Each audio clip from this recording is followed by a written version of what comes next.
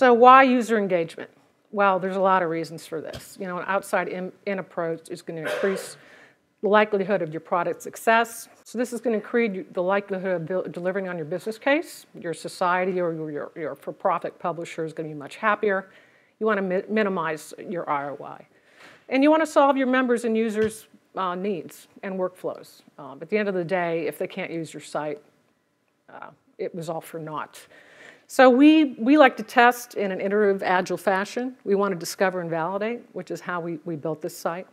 We want to understand our users, and we want to lead to a product um, that fits their needs and sells itself. So how many um, pragmatic marketing, um, product management alumni do we have in the room?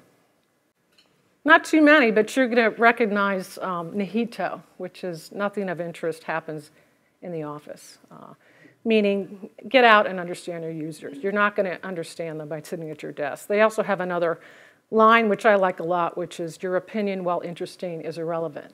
Now you can't you can't say that to your member leaders, and actually in cardiology um, we have many member leaders who are authorities on everything, on my job, on product development, you name it. So um, to, to validate what our members need and to go through a systematic product build is going to diffuse any of those, um, those opinions you may hear from your, from your members. So this is, this is important.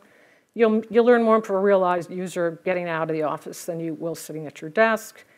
And you know, leverage and embrace user feedback, the good and the bad. Your assumptions are going to be defunct in many cases, and you're going to learn things uh, you didn't know about your customers. So Facts, not opinion, is the, is the groundwork of product management. Um, market facts, validate and define your product specifications and, and define your roadmap.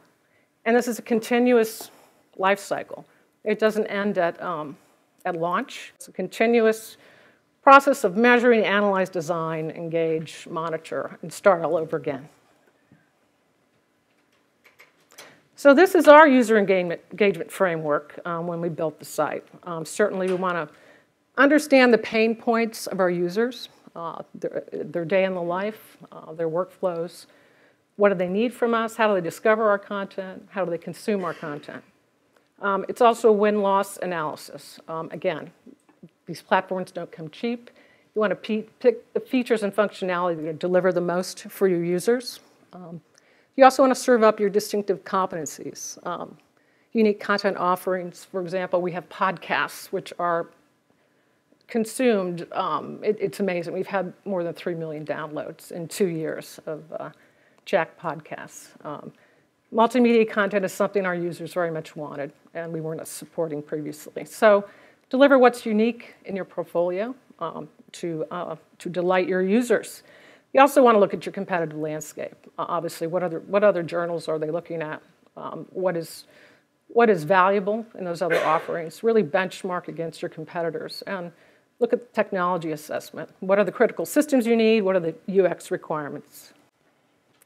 So we employ a variety of strategies, um, virtual roundtables. This is really um, WebEx um, sessions where you can collect users from across geographic regions and have a, a virtual discussion. They've been very effective, particularly in early um, discovery phase uh, to get some benchmarking. Also, you know, traditional focus group settings and uh, one-on-one observational studies, which are very valuable, um, particularly in prototype phase, where you're watching and observing users uh, using the site and, and also in post-launch. We did quite a bit of this recently at our annual meeting.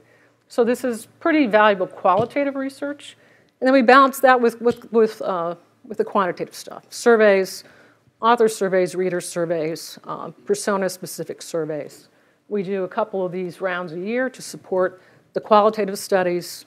And then we use secondary research, in particular market segments, international markets, uh, and also direct user feedback. So it's a mixture of quantitative, qualitative, and it's, uh, it's an ongoing process. Thank you.